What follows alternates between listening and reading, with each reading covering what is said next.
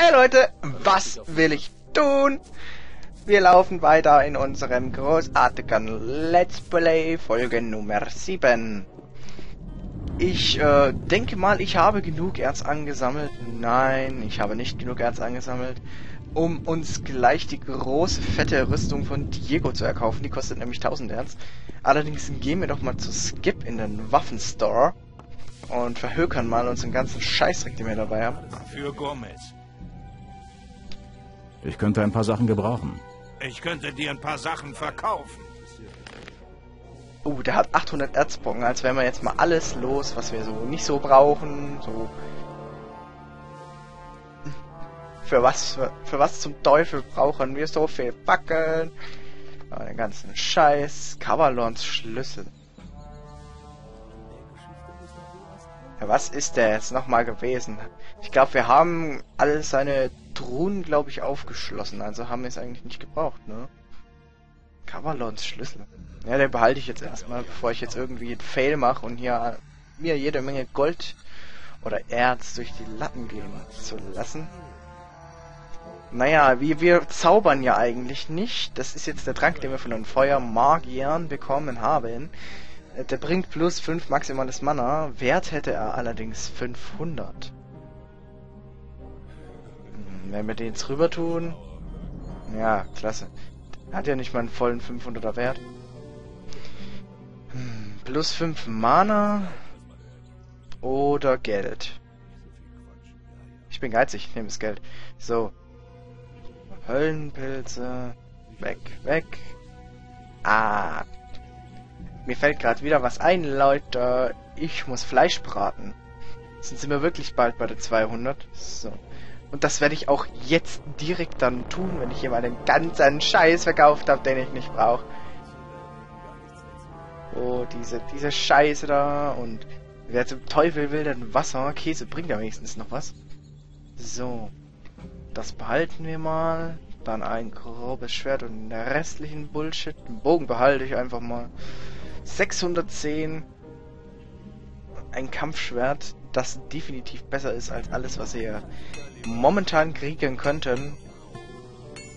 Was ein bisschen bitter ist, muss ich sagen, wenn man Gardist wird, was wir ja vorhaben, äh, bekommen wir auch ein Gardeschwert und das hat einen Schaden 32 von. Ja, im Prinzip können wir es dann wieder verkaufen, weil es uns nicht viel bringt. Wir haben dann quasi schon ein besseres Schwert, jetzt nehmen wir das einfach mal mit. Das gefällt mir gut. Nehmen wir einfach mit. Und die restlichen Erzbrocken, die sahnen wir uns noch ab. Und vielleicht haben wir dann sogar genug Gold gesammelt. Warum sag ich Gold? Das sind die Erzbrocken. Das ist wohl Gewohnheit von den ganzen Spielen, die man sonst immer zockt, außer Gothic. Like a Liste. Mit der Schwanz im Mund. Aber wir können das grobe Schwert eigentlich auch noch verkaufen. Dann haben wir den Schmarren auch nicht mehr im Inventar. Aber jetzt haben wir schon mal eine gute Vorlage. Wir haben Für Gomez. ein super geiles Schwert. Wir sind Ich könnte 20, ein paar Sachen gebrauchen. Ich könnte dir ein paar Sachen verkaufen. 20 Stärkepunkte stark, soweit ich weiß. Und wir haben ein... Nee, habe ich das schon erwähnt? Wir sind Meister des Schwertes. Oh, gibt mir noch 50 Erzbrocken für das hohe Schwert. Eigentlich ist es ja mal ein totaler Spotpreis. Im Prinzip verdient man sich, glaube ich, 10 Erz mit der ganzen Scheiße. Weil ich glaube... Na, ach Mann. Da geht es nicht. Weil ich glaube, ein Erzrohling... Nein, nicht ein Erzrohling. Ein stinknormaler Rohling für so ein grobes Schwert bei Huno kostet, glaube ich, 40 Erzbrocken. Hm. Man macht quasi jetzt 10 Erzbrocken Gewinn. So, ich will jetzt erstmal mein Kackfleisch braten. Brauche ich eigentlich eine Pfanne? Nee. Wo habe ich denn immer mein Fleisch gebraten? Vor meiner Hütte, soweit ich weiß. Ah, jetzt gucken wir erstmal, was Torus uns zu sagen Für hat. Gomez. Ja, für Gomez hat er uns zu sagen.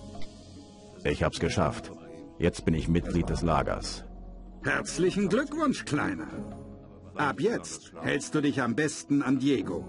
Zu Gomez oder Raven solltest du nur noch gehen, wenn du was wirklich Wichtiges zu sagen hast. Ja.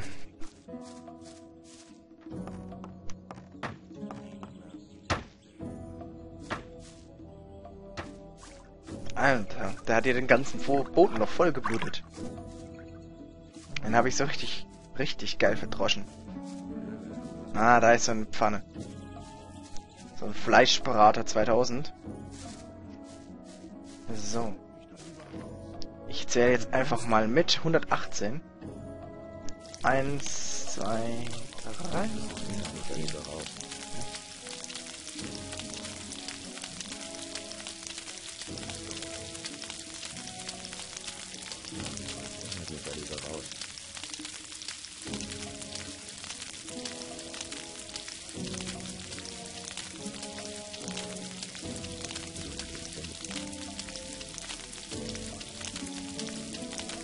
Sechsundzwanzig.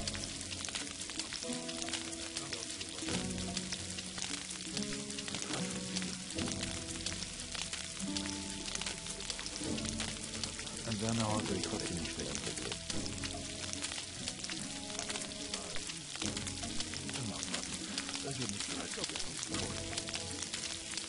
Fünfzig.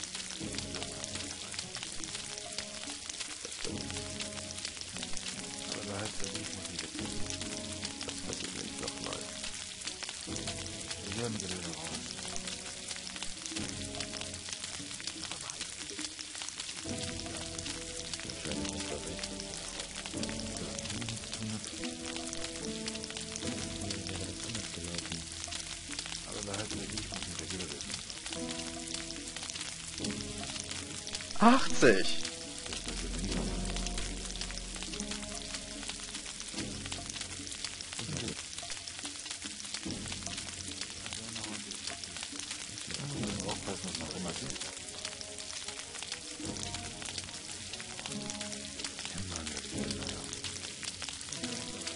Oh, ich bin jetzt bei 100.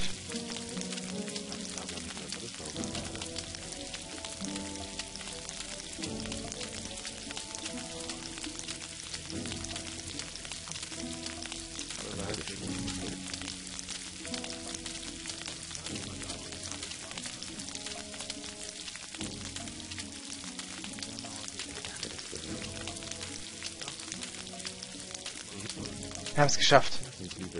Oh, wir haben alle Fleischbrocken gebraten. Leck mich am Arsch, mir tut der Finger weh.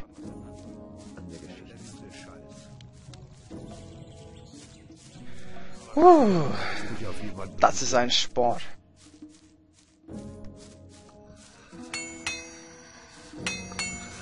Na, jetzt habe ich mir gedacht, sprichst du mal Huno an und fragst nochmal, wie viel so ein Rohling kostet. Immer in diese Ecke. Die lieben diese Ecke, die pinkeln da immer rein. Ich dachte, das wäre Ja, auch eine schöne kleine Hütte. Ich glaube kaum, dass ich daran was ändere.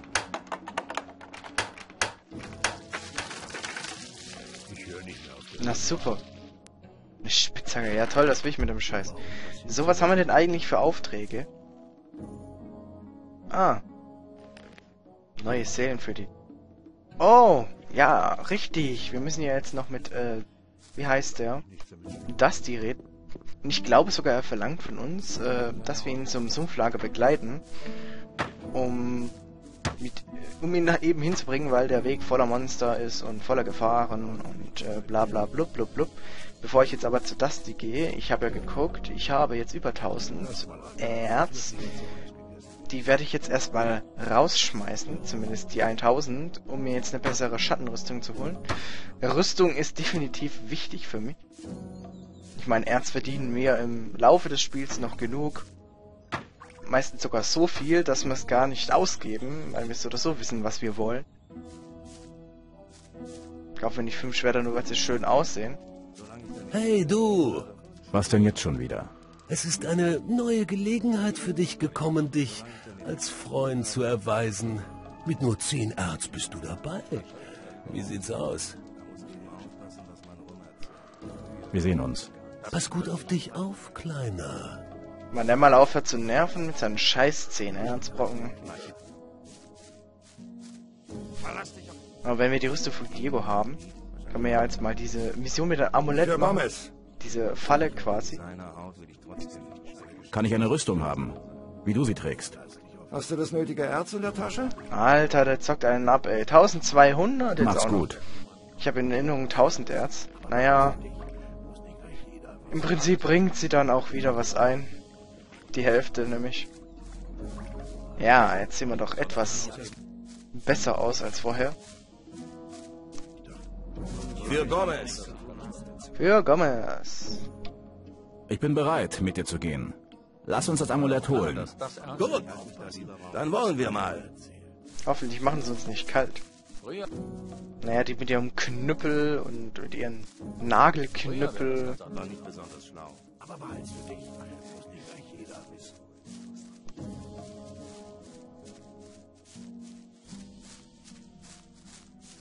Die haben keine Chance gegen uns. Äh, gegen mich. Gegen uns meine ich mich und mein Schwert. So. Hier sind wir. Schön weit weg von deinem Freund Diego. Ich soll dir schöne Grüße von Bloodwing bestellen.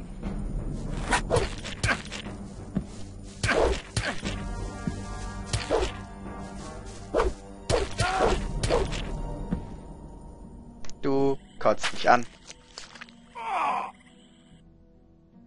Grimm lasse ich leben und der Kerl kotzt mich auch an.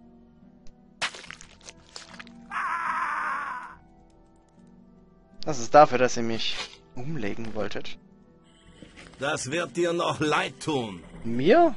Eher dir. Ja, gib halt den Knüppel her.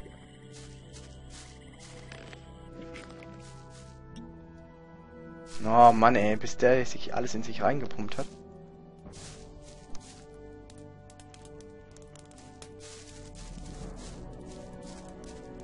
Komm her, du Mistkerl. Für Gomez. Du hast mir ganz schön aufs Maul gehauen, Mann. War ein guter Kampf. Aber jetzt ist gut. Du Penner wolltest mir also nur eine Falle stellen. Hey Mann, wir spielen beide dasselbe Spiel. Ich habe auch keine Lust, in den Minen buddeln zu gehen. Also werde ich tun, was mir die Gardisten sagen, dann werde ich hier bald aufgenommen. Dass ich ausgerechnet dir aufs Maul hauen sollte, hast du dir im Grunde selber zuzuschreiben. Warum legst du dich auch mit den Gardisten an? Persönlich habe ich nichts gegen dich. Also was ist? Frieden oder weiterprügeln? Ich würde eigentlich sagen weiterprügeln, aber ich bin mal ein netter Junge und sag Frieden. Frieden klingt gut. Freut mich, dass du das Ganze durch meine Augen sehen kannst. Die Sache ist vergessen. Aber jetzt bin ich auf deiner Seite. Wenn du nochmal Ärger haben solltest, kannst du auf mich zählen. Schließlich schulde ich dir was.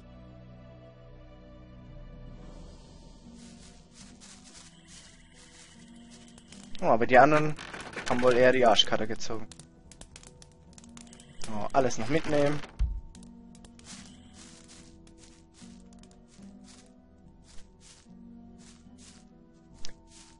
Schwuppdibu, schwuppdibu.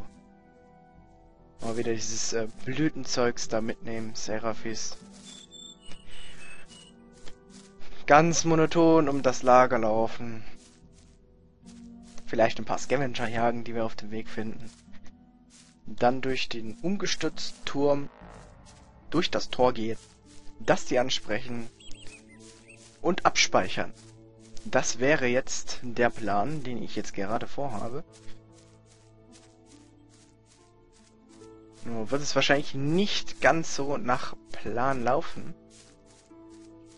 Weil da wahrscheinlich gar keine Scavenger mehr sind, die man verprügeln könnte.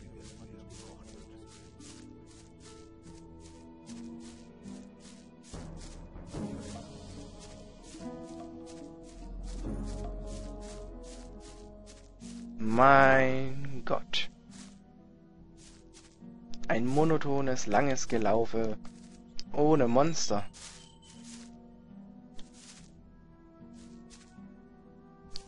Gut, unsere nächste Mission ist klar. Wir bringen Dusty ins Sumpflager und werden uns dann mal darum kümmern, den Auftrag von Korkalom entgegenzunehmen, den er uns geben wird. Und zwar benötigt er Sekret von Minecrawlern. Das kann ich ja schon mal vorspoilern. Die Sekret kann man durch die Zangen gewinnen. Und zwar haben die da ihr Gift irgendwie in so Giftsack, was weiß denn ich, den man rausschneiden kann. Allerdings gibt es ein Sekret, was äh, mehr und höher konzentriert ist als das, was man in den Zangen findet. Und das befindet sich in den Eiern einer Königin. Kann schon sein, aber wen interessiert das? Und die müssen wir auch noch abschlachten. Ganz alleine. Für Gomez, ja, ja. Für Gomez, ja, ja. Ich war am Lager der Sekte und habe Melvin getroffen. Und? Was sagt er? Es gefällt ihm anscheinend besser, als sich von den Gardisten schikanieren zu lassen. Hey Mann, er hat den ganzen Spaß ohne mich?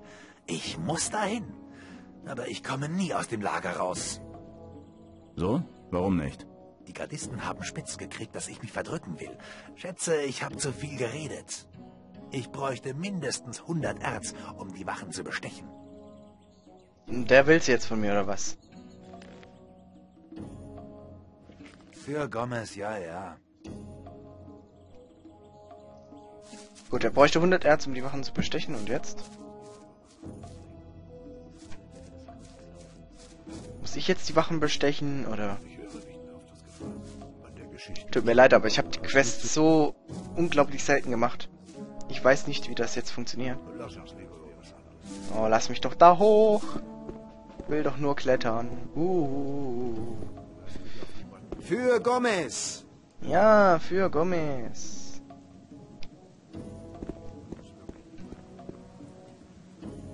Für Gomez. Ja, wen muss Lass man denn da vorbei. jetzt Für anschwätzen? Gomez. Hi. Beweg deinen Arsch. Rein oder raus, mir egal. Hauptsache, du stehst mir nicht vor der Nase rum. Okay. Ich werde dich schon nicht belästigen. Ja gut, dann werden wir wahrscheinlich mal diesen Chakal suchen, der hier mit seiner geilen Armbrust immer irgendwo rumlatscht. Kann schon sein, aber wen Gerade konnte ich da noch irgendwie hoch.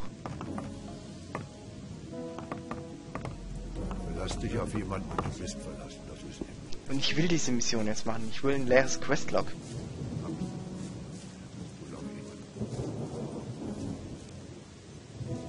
Na, wo steht denn dieser? Jetzt. Da oben ist er. Für Gomez!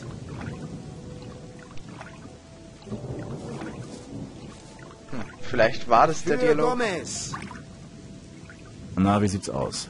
Du kannst nach wie vor auf mich zählen, Kleiner. Gut, das war's doch nicht. Gut, wir haben 100 Erz. Wir könnten sie ihm auch geben. Ich würde sie ihm auch geben. Allerdings hat er darauf irgendwie keinen Bock. Für Gomez, ja, ja. Gut, vielleicht steht was im Questlog. Hm.